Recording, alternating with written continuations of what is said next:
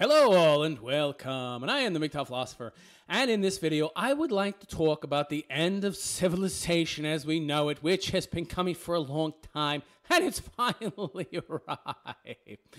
Here we have a story from none other than the New York Times. Yes, the New York Times that is losing about 60, 70 million dollars a year, but somehow manages to keep its doors open, even though it's losing so much money.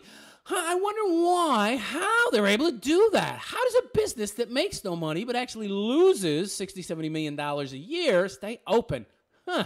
I'll let you figure that one out. I think it's pretty obvious. but anyway, it posted this horrid story. This is very recent, June 1st, 2017, entitled How to Raise a Feminist Son. Let me say it again how to raise a feminist son. Now, for those of you out there who can't translate, let me do it for you.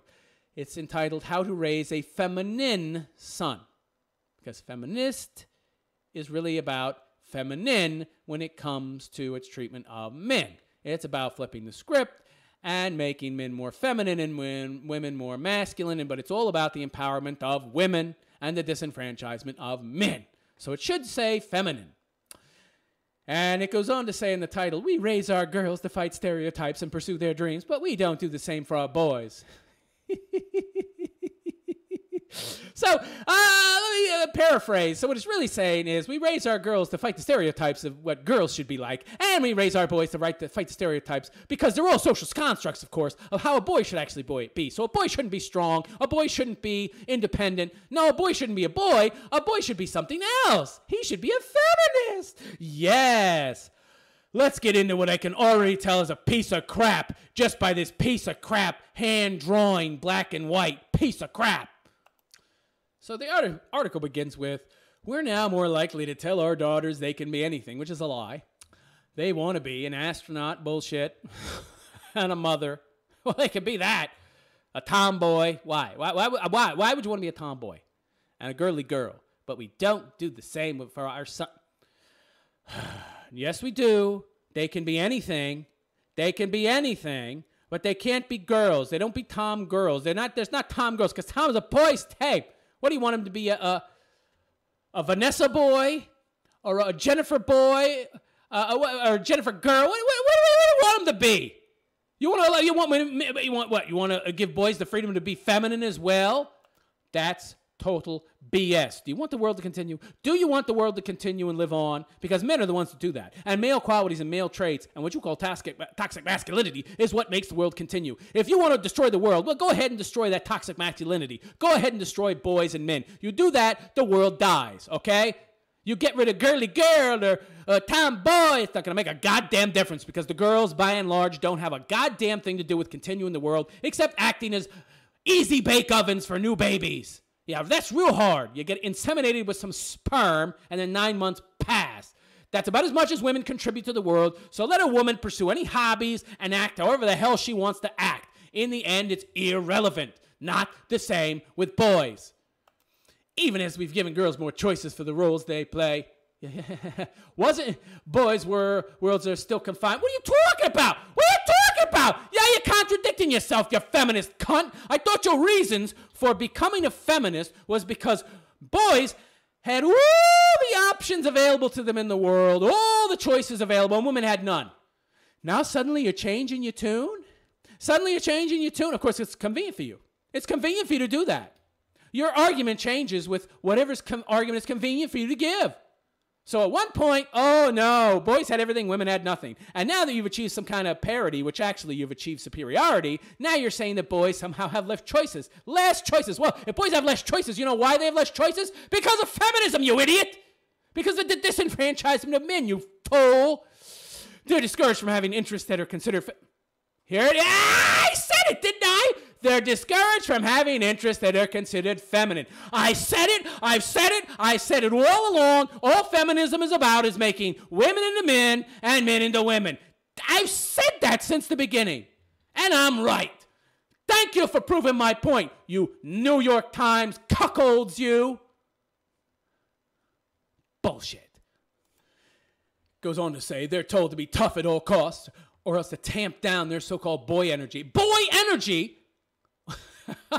Isn't that a good thing? Don't you want them to be more feminine? Now you just contradicted yourself, you dumb bitch. And by the way, the only people telling them to tamp down their boy energy are their feminist teachers and their feminist mommies and daddies.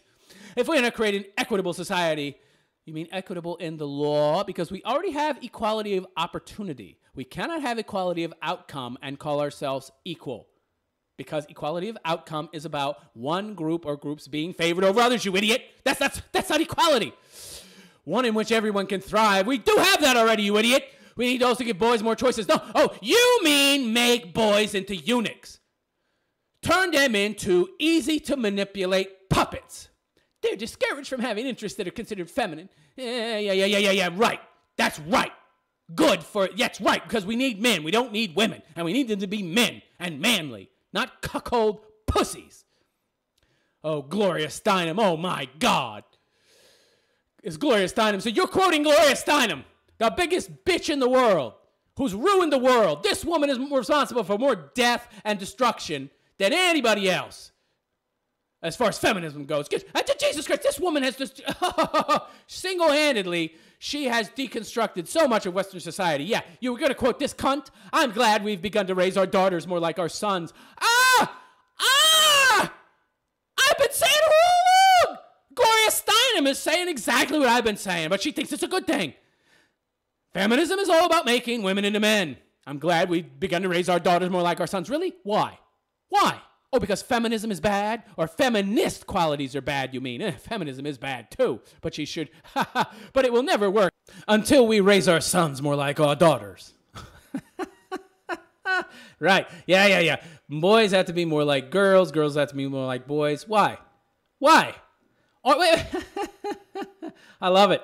So, I don't understand. Why is it important for men to be more feminine and women to be more masculine? Uh, is there some reason that femininity. Oh, oh, I see. Equality. So men and women both have to be more balanced creatures. So the argument for feminism is essentially that, at least in this case, what they're arguing is that boys have too much masculinity, women have too much femininity, and we need to balance things out through social engineering. Uh-huh, uh-huh, uh-huh. Very, very, very interesting. And why do you think this? Was, wasn't the world working just fine until you people messed it all up with these stupid ideas? And it goes on to say that's because women's roles can't expand if men's don't too. Oh, oh, is that so? Is that so? Hmm. So wait a second, wait a second. So in the reason that you ladies created this feminist nonsense to begin with is because men had all the options available to them and you had nothing? Well, what happened? Men suddenly have less options now than they did before. Uh, but wouldn't that be because of feminism and your efforts to equalize everybody by creating programs that essentially hobble men and make them unable to compete uh, at their own level and, brings them down to the level of women and takes away opportunities to give them to women. So, isn't the advent of feminism the reason? And your solution is more feminism? what? Unbelievable!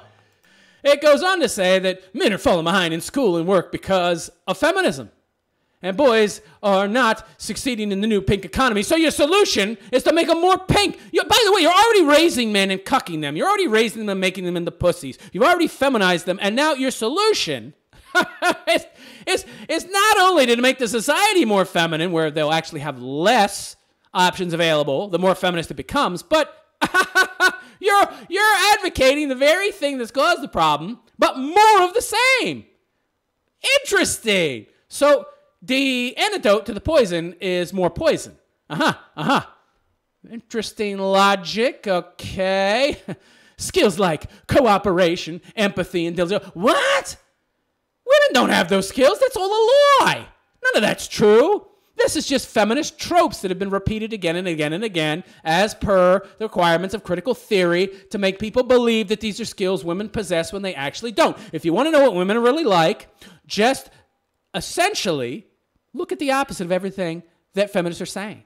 All you need to do is look at the opposite of what they're saying, and you will know what women are really like. They have no empathy. Have you ever seen women try to work together? It's like a cat house. It's total chaos. They can't work together or get along. And empathy? Women don't have empathy. That requires a high level of abstract thinking, which they lack. They can't empathize with anybody. It's all about them. And diligence? what? Oh, women can't focus on a goddamn thing unless maybe they're doing their nails. Give me a break. These are not good. They're considered to be feminine qualities, please. They're considered to be feminine qualities because you've been parroting that they're feminine qualities for the past 60 years to try and brainwash people. Speak a lie enough, and people will believe it. They're increasingly valued in the modern day work and school and jobs, which is why you've been parroting them as female only or female dominant traits. Which is very interesting because you just contradicted yourself. you, you, you teach that everything about men and women that is considered to be male and female is just a stereotype. It's just a construct, a social construct. And now you're saying, and now you're saying that these are feminine qualities. Wait a second. If men and women are naturally equal, except for social engineering that creates these stereotypes, how in the world can these be feminine qualities? What are you talking about? More contradictions. Oh, my head's to explode. My blood pressure's shooting up so high. Uh, uh, let's move on, shall we? Uh, uh, ay, ay, ay. Story goes on to say in her new book, Chimamanda Ngozi Adichie, the Nigerian-born author, hey vey, uh, gives instructions for raising a feminist daughter, but how can we raise feminists? You don't want to raise a feminist son. It's like child abuse. Oh, of course, they don't care. Oh, they don't think it's child abuse. Oh, no, it's instructing him in equality and how to achieve it. No, you're cucking him and you're cutting him off at the knees. I asked neuroscientists, economists, psychologists, of course, because leftists and feminists, they want to take all the most current science they can find and try to use it in some way to manipulate the society, manipulate the culture, manipulate the people in it, or just try to create some bullshit name or new theory or new school or new methodology or something like feminist economics and other bullshit like that to try to add some kind of validity to their tired old, tired old arguments. Psychologists and others to answer that question based on the latest research and data we have about gender. Oh, please. I define feminist simply as someone who believes in the full equality of men and women. But didn't you just say that, that, that these specific qualities are, are, are, are feminine traits and not masculine ones, thereby already admitting that we're not equal, meaning the same? Of course, all these idiot feminists don't even know what the word equal means. It just means the same. like two pennies, they're both pennies, same year, struck in the same way, they're both the same. You got a penny and a nickel, they're not the same. They're not equal, you idiot. That's what it means. Their advice applied broadly to anyone who wants to raise children were kind, confident, and free to pursue their dreams. No, these are just positive buzzwords, positive buzzwords that you're trying to apply to your manipulations. It's really about making boys into girls. And by the way, isn't it interesting that women want to become men? Doesn't that mean that men are superior? I mean, you all want to become like men because it's male traits that actually made the world a better. Why would you want to have fem? Why would feminists create feminism to try and raise girls more like boys are being raised and trying to instill more masculine traits in men if masculinity is toxic? Okay. What it's really all about is penis envy. It's all about envying male traits. And women acknowledge that just through their application of feminism. And in this story, it admits it. Gloria Steinem, the queen of feminism, saying, well, we need to raise our daughters more like we raise boys, and we need to raise our boys more like we raise women, more like we raise women. So you're automatically admitting that you want women to be paramount, and the only way to do that is through masculinity. So you're already admitting that you want to be superior. And the only way to do that is to become more masculine, meaning that masculinity is superior to femininity.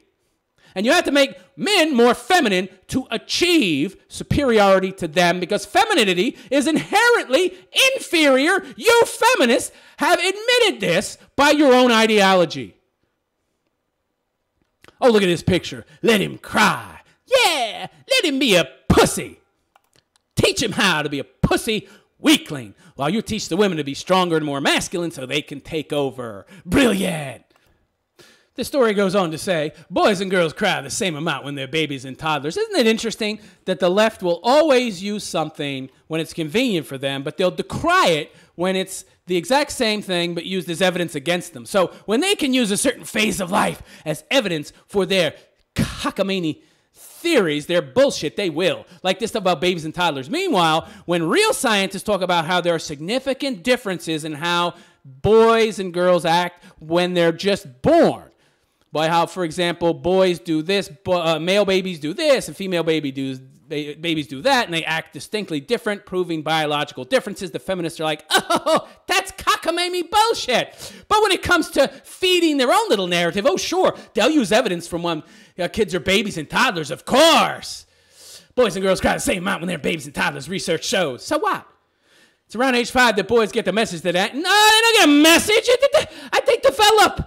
Their brains begin to develop, and then you begin to see the biological differences more and more as their brains develop more and more. Just like after the age of 11, boys far outstrip women in intelligence. It's the age, you idiot, and you're ascribing it to some kind of environmental factors. Boys get the message that anger is acceptable, but that where, where do they get this message? Who's teaching them this? They're single mothers? Who's who? Ah, ah, ah, yeah, yeah, that's who!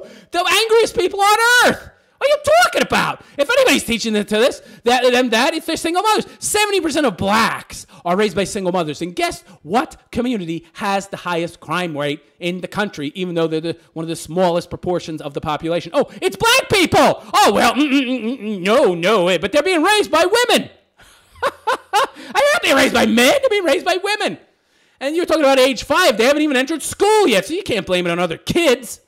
You idiots! Oh, oh, that's inconvenient to our narrative, so we don't look at that. Yeah, of course not, because you're morons.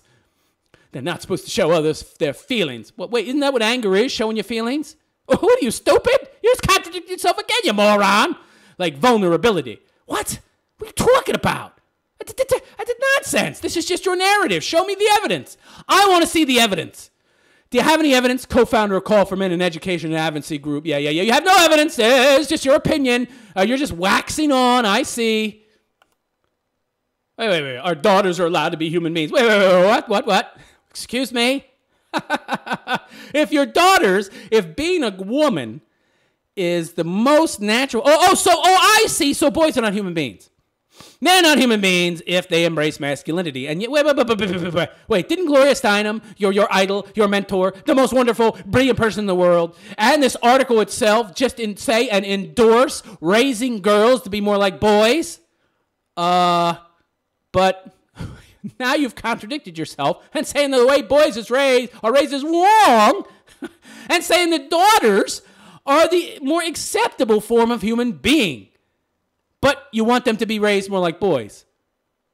What? what? what are you talking about? You're not making sense. And our sons are taught to be robotic. Uh, the people who are taught to be robotic are the people that follow these idiotic ideologies and don't think for themselves. What you really don't want is boys thinking for themselves. That's it. Teach him that he has a full range of emotions to stop and say, I'm not angry, I'm scared, or my feelings are hurt, or I need help. Oh, uh, that's what you think. That's what you think as a woman, and you're trying to project your thoughts and feelings as a woman onto the boy and make him more like a woman. Utter bullshit. And this is all contradictory nonsense anyway. There's no reason in even arguing any of this nonsense because every two sentences they're contradicting what they said in the prior paragraph. Total nonsense. Gloria Steinem, my ass. She's a moron of the highest order. Continuing with these crappy ass pictures. Give him role models, of course, but only acceptable role models. Boys are particularly responsive to spending time with role models. No, no, men. Other men. Other freaking men. Even more than girls, research, research shows. I wonder why that is. There's growing evidence that boys raised in households without a father figure fare worse in behavior. Why is that, you dummies? Huh? Why is that? Because it's a man who acts like a man. If you got a man that's like a woman, that's like having two women, you dummy. You already got enough femininity there. What you need is more masculinity to balance things out. But oh no, masculinity is evil, so we need to have a man, but the right kind of male role model who has embraced this feminine side, and yet we want to raise our girls more like boys. Wait, what? That's contradictory. One reason, according to the economists, the hell do economists know about raising kids? They're not psychologists. They're not even fake scientists like sociologists or social scientists who aren't even scientists. They're not even that. And Melanie, Wasserman is that they do not see men taking on responsibilities. Oh no, and now we've got the whole feminist, self serving trope bullshit of men. And this, they're, they're, now they're trying to introduce a little element of trad Connery into feminism. Put men in the space of your son. Men who are taking on the responsibilities they should be. They're taking up that plow. They're pulling that plow. They're being that dutiful workhorse and sacrificing themselves for society. They're signing the social contract. Meanwhile, the mother, she ain't made a motherfucking sandwich in her life, and she is in no way fulfilling her side of the bargain. But hey, good examples for the boy, right? Totally cucked, wimpy, pussy man, and a female trying to act like a man. Ooh, not sending mixed messages there or wrong messages or bad messages to that kid. No, yeah, those are real good role models. Uh, not. Oh boy, here we go. Give them strong female role models too. By strong, do you mean more masculine? Well, then wouldn't it be even better for the man to actually be more masculine? Oh, no, no, no. He's naturally masculine. So he needs more femininity in him to balance things out. Because that's how things should be. Because everything's about equality. Even though we know men are better because we want our women, our girls to be raised as boys. And we prefer masculinity because that's what gets you ahead in the world. But we really don't. We want to destroy it in men and we want to have women embrace it. So essentially, you want women to take over and be in the dominant position, and you want to cuck men into being weaklings and in the inferior position and subordinate to women. I see. Talk about the achievements of women you know and well known women in sports. the only woman that's well known in sports is Ronda Rousey, okay? That's it. And for uh, uh ages, women believed that she could beat up uh, uh, men. Maybe the weakest man on earth, but that's about it sons of single mothers usually have a lot of respect for women's account their accomplishments these women. No, what? Why? Oh, because they've been taught to, because they've been raised to hate themselves, to hate men, to be self-hating. They've been cucked from birth, you mean? Said Tim King, founder of Urban Prep Academies for Low Income. Uh, uh, uh, African American boys. So he runs a program that's for African American boys who are the majority of single kids raised by single mothers in America. Well, big surprise, he's biased towards single mothers. They pay his salary. He encourages them to see other women that way. Of course he does. It's good for his pedigree, it's good for his wallet. Not good for men. Oh, but he doesn't care. He's a fucking sellout. what is this? Let him be himself. Hilarious. What is this crap? Let him be himself. Even as adult gender roles have merged, children's products have become more divided by gender than they were 50 years ago. Really? Uh, I don't think so. Well, I think they've become less so. Pink princesses and blue trucks. Oh, that's such a crime, especially since they demonstrate the actual biological differences between children as toddlers and babies choose the trucks over the pink princesses if they're men and the girls choose the princesses, even though they have no social engineering that's been programmed into them to give them any reason to make those choices, but they make the choices all the same because the differences in sexes is biological, not sociological, you pinheads, you. Not just in the toy aisle, but on cups and toothbrushes. No wonder the children's dentists end up aligning that way. You morons! Do you ignore all the evidence that from at least two, three days old, observed differences that run right along gender roles right along gender differences are observable. Oh no, that's just bullshit. That's not real. Well, maybe in your world where such a thing as evidence is subjective and you can just decide this is real and this is not real evidence based on your own feelings. But neuroscientists say children aren't born with those preferences. That's a lie. What?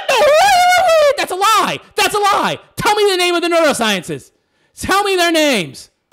If there are any neuroscientists saying that, they are lying. There's somebody who was a feminist who went into neuroscience so that they could have a neuroscience degree to back up their bullshit ideology. There's no reputable neuroscientist saying that children aren't born with gender preferences or preferences that are influenced by gender. That is 100% a lie. I can provide tons of evidence. They can provide zero. I guarantee you, I can provide so much evidence that this is bullshit. You would have to be a total moron not to be aware of these studies that show that children as young as three years old uh, uh, uh, uh, show differences in how they act, how they behave, that fit in correctly with what we know about gender differences between boys and girls. Until the mid 20th century, pink was the boy color. What? That's not true. And blue is for girls. What? What? Bullshit! And studies infants have not. This, this whole piece is nothing more than a propaganda piece written by feminists, for feminists, and for idiot fools to indoctrinate them. It's nothing more than disinformation. Nothing more than that. Studies infants have not been shown to have strong toy preferences. That's a lie. I've seen the data. I know that's a lie. And every single study that's been done of every different type of study, these differences have been shown consistently. The difference, according to researchers, emerges at the same time that children become aware of their gender around two. That's not true. How, can I, how many more times can I say this is all a lie? You have to go look for the evidence for yourself. This is all bullshit at which point societal expectations can override innate interest. So it's all social engineering. Yet women have these traits that are inherent in women and that are feminine in nature, but that's all just a social construct. So it doesn't exist until it's constructed, but women have these inherent inherent traits that aren't socially constructed. What? You've just contradicted yourself again, you morons. Goes on to say, yet longitudinal studies suggest that toy segregation has long term effects on gender gaps in academics, spatial skills, and social skills, according to Campbell Leper. Leaper. Leper. You ought to call him Leper. He should be an outcast. The moron. You're an idiot. Chairman of the psychology department at the University of California. Oh, California! I called it liberal pinhead. Santa Cruz. Good Lord. Of course, it wasn't some other state. It had to be California, the same stupid state that is talking about leaving the Union. Oh my God. And by the way, don't you just love this picture? With a boy wearing necklaces and a woman's hat and sunglasses and lips that look like they have makeup on them. He couldn't have been in a He Man shirt or a G.I. Joe shirt with a machine gun, with a, a toy machine gun, could he? But wait a second, it says let him be himself. Well, what if he's being himself when he has a toy gun and is dressed up as an, a, a, a, cowboy or some other macho uh, uh, uh outfit? Oh, no, that has to be discouraged. So you see, it's really not. Uh, it's perfectly fine to let him be himself as himself as a fucking homo. If he's a fucking homo or, or, or, a queer or some kind of transgender, well, yeah, let him be himself. But if he wants to be a man, oh no, because masculinity is toxic. Even though we need to raise our daughters to be more masculine, and certain female traits such as empathy and cooperation, these are inherently female traits. Even though there's no such thing as gender differences biologically speaking, but this is inherently female, and being inherently male is evil, even though these are all just social constructs. Uh, uh, uh, what? you feminists are so stupid you don't even see the contradictions in your arguments. And it continues by saying for children to reach their full potential, they need to follow their interests. Unless those interests have something to do with masculinity, of course. Traditional or not, preferably not of course. So let them. Oh, no, no, you don't really mean that. You mean let them as long as they're exploring their feminine side. If they want to explore their masculine side, nope, sorry, can't let you do that. The idea is not to assume that all children want to do the same things. Uh, why do you assume they don't want to? what is this stupid shit? We always have to be contrary. We always have to introduce some kind of moral or ethical or situational relativism, don't we? Oh no, don't assume that all children want to do the same things, which, on the other hand, don't assume that all children don't want to do the same things. Oh, but we do assume that. so you're making assumptions right there. But to make sure they're not limited. Uh-huh, uh-huh, uh-huh. So, in your estimation, not being limited means allowing them to be more feminine, but you actually want them to be more feminine. You don't want them to be masculine, but at the same time, you're saying let them be themselves. What? Offer open ended activities like playing with blocks of clay and encourage boys to say, ah, ah, I'm gonna shoot myself in the fucking head. And encourage boys to try activities like dress, up. dress up, dress up, as in dressing up as women I thought you just I thought you just said let them be themselves. Why why am I encouraging specific behavior if I want them to be themselves? Oh, because you're really not talking about letting them be yourselves. You're just trying to muddy the water, waters and create this relativistic atmosphere, and then you can infer, you can suggest, you can manipulate, you can push them into a pre chosen your desired activity that you want them to undertake. You don't care about them being themselves. No, no, no, no. You just say that to create this relativistic, atmosphere. And then you'll tell them what they really should be doing, like playing dress up or art class, even if they don't seek that stuff out. I thought you just said let them be themselves, which means seeking out what they want to do. Social scientists, social scientists say there's no such thing as social sciences. Social sciences were created by the Frankfurt School, okay, to destroy Western society. They created sociology and they created social sciences. They put the word science after social. They specifically sat down and had a little meeting where they started create, trying to create titles for how they were going to push this cultural Marxism and this socialistic agenda, and they came up with the adding the word science after social. That's that's it to try and promote their theories as some kind of real science. It's all bullshit out of Columbia University and the Frankfurt School in 1933, 1934. Do your research, people. I have. It continues by saying, call out social stereotypes. Call out stereotypes. It's too bad that toy box shows all girls because I know boys also like to play with doll houses. First of all, I remember uh, when I was a kid and you know, if boys had anything, uh, it would be like a, uh, you know, a G.I. Joe fort or something like that, or some kind of G.I. Joe toys. And, uh, you know, that's not a dollhouse, okay? That's not a friggin' dollhouse. Call out stereotypes. Yeah, of course you want us to call out stereotypes. What you call stereotypes are actually how women and men are different. You're just labeling the gender differences as so called stereotypes to make them relative and subjective so you can then throw them by the wayside, and then impose what are essentially your own subjective stereotypes. It could also improve the status of women, uh, which is what you're really all about. You're not in any way improving about improving the status of men. Uh, that's just a Trojan horse for you to introduce more feminism into society.